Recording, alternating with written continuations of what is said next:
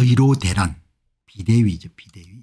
의대 교수들이 어제 성명서를 냈네요. 26일 날 입장문 응급치료가 한계가 왔고 지방의료부터 시작해서 의료 대란이 조짐이 보인다. 지방부터 시작되지 않습니까 정부가 전공의 임용과 전문의 자격시험 공고를 이제 유사시에 보건복지부의 행정명령을 통해서 전공의를 동원할 수 있는 그런 법적인 입법 예고를 했다는 것을 어제 말씀드렸지 않습니까 의대 교수들의 이 조치에 대해서 국민의 생명을 단보로 한 위험한 도박입니다.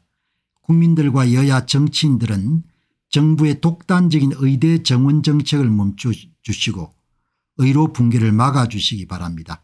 현재 전국 40개 의과대학에서 1학기 수업에 참여한 의대생은 2.7%에 불과합니다. 전공의도 대부분 병원에 사직서가 수리됐고 하반기 모집 지원은 거의 없습니다. 필수과 전공의 사직과 과중한 업무에 지친 교수들의 사직으로 응급진료는 한계에 직면하고 있고 지방 필수 의료를 중심으로 의료 대단이 이미 시작됐습니다. 여러분들 응급실 위기 그다음에 지방 필수 의료부터 여러분들 의료 대란이 시작된 거죠. 그 다음에 이제 서울 올라오겠죠. 내년부터는 신규 의사와 전문의 배출이 중단됩니다. 필수 의료를 중심으로 한국 의료가 붕괴될 것으로 예상됩니다. 정부는 실질적인 대책은 마련하지 않고 이것을 방관하고 있습니다. 의과대학의 현실성 없는 학사 단양 운영 가이드를 제시하며 문제를 은폐하고 있습니다. 정부가 제시한 가이드라인을 의사를 양성한 의과대학 교육의 질을 심각하게 저하시키고 장기적으로 환자의 안전을 위협하는 무책임한 방안입니다. 정부는 전문의의 수련 및 자격 인정 등에 관한 규정 시행령을 고치합니다.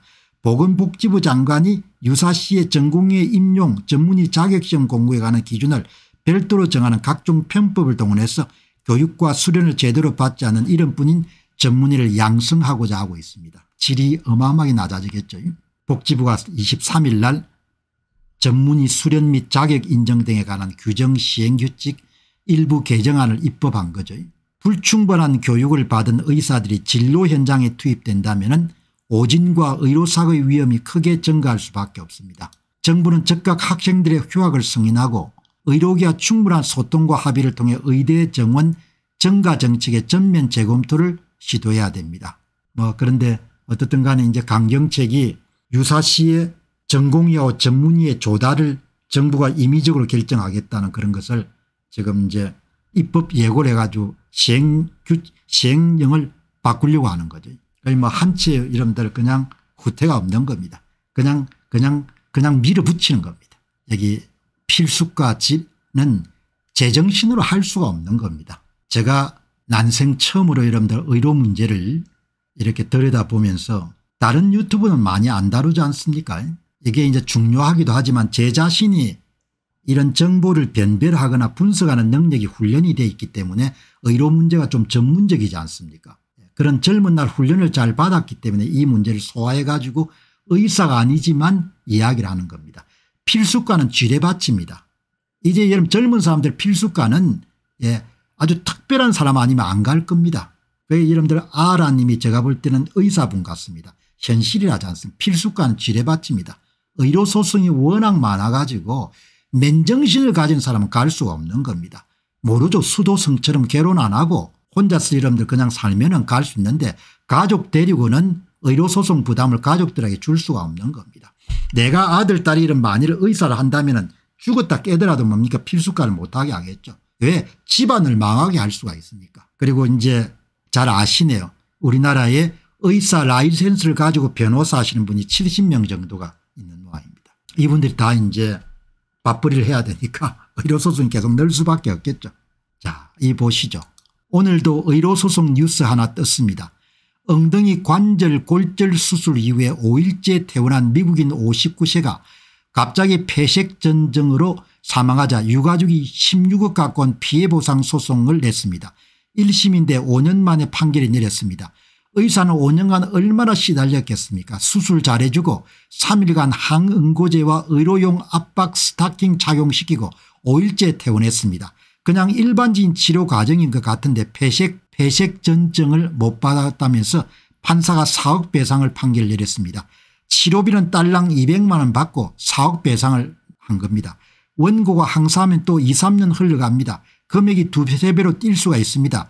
골절 수술과 상절 출혈 환자 항응고제 사용 시 법원의 사용량 사용기간 등을 정해주면 의사들은 소송이라 출혈 걱정 없이 아무 생각이 따를 것으로 봅니다. 그럼 수술 안 하는 거죠. 뭐. 그래 필수가를 가는 것은 미친 짓이라고 보는 겁니다. 내가 볼 때는 내가 여러분들 문헌이나 정보를 이렇게 보면서 이거는 완전히 미치지 않고선 갈 수 없는 거구나.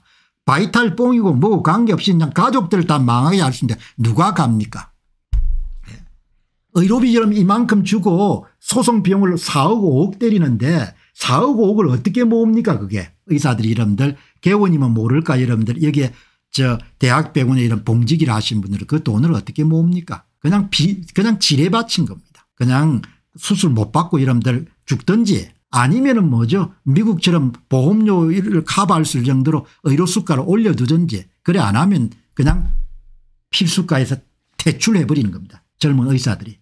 저, 저, 저 연배의 사람들은 공적인 부분에 대한 헌신도 있고 뭐 소명감도 좀 있고 그랬지 않습니까?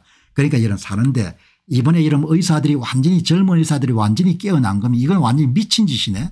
이렇게 청문회 과정에서 모든 문제가 밝혀졌는데도 아무런 조치가 없는 것은 오히려 이 사태를 정치권 특히 민주당은 즐기고 있다고 판단하면 어마어마한 호재죠.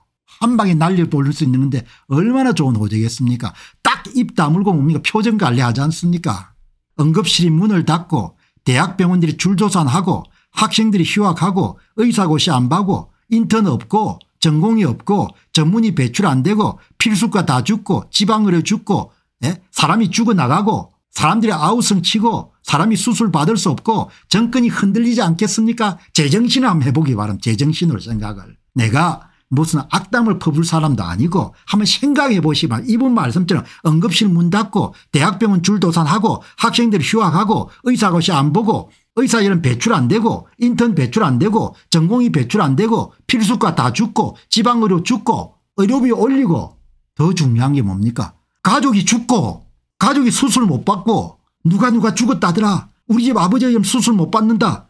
그게 여러분들 입에 인구위험 해제하는데 지금 6개월인데 벌써 뭡니까 방송사 여러분들 댓글들 보게 되면 그냥 이게 천지가 계획되는 이야기들이 나오는데 그게 8개월 9개월 돼 보시기 바랍니다. 민심이 완전히 쓰나미가 될 겁니다.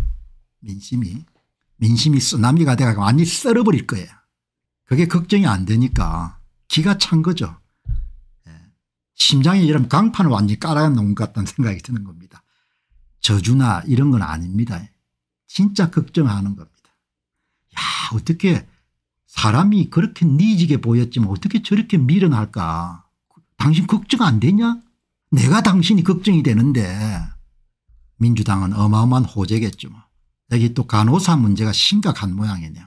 여기에 한 분께서 여러 차례 글을 올리셨는데 이 보시기 바랍니다. 간호사법을 이렇게 반대하시는데 이 간호사법은 제가 들여다보지 않으면 한번 들여다봐야겠네.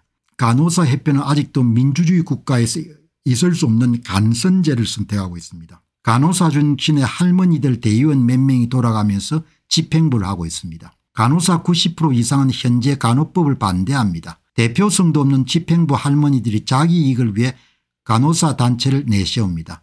모든 간호사에게 원천 징수받는 169억 의 예산 공개도 안 합니다. 빨리 간호사협회 회원들이 직선제로 대표성을 확보해야 됩니다. 할머니들 이제 그만 해쳐 먹으세요 이렇게 나오네요. 뭐안 썩은 데가 없네요. 액면 그대로 받아들일 수는 없는데 이분 말씀을 보면 내 머릿속에 대충 어떻게 돌아가는지 다 예, 그냥 그림이 그려지네요. 안녕하십니까 공병호입니다. 그동안 공병호 tv는 선거 공정성 회복과 자유민주주의 체제의 보존과 발전을 위해 노력해왔습니다.